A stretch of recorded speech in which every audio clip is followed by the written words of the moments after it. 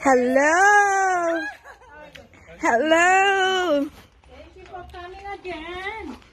We're talking about it. The first time like that, later behave. Oh, yes. Yeah. Yeah, yeah. I was. Hi!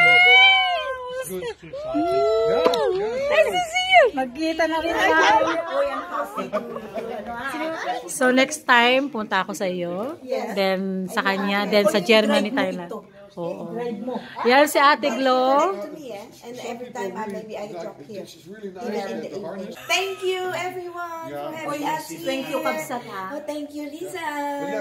And then next time, Thank you din. Salamat sa pagbisita. Salamat sa ano. Oy, Kabsat, thank you. Thank you sa masarap na kape. Salamat.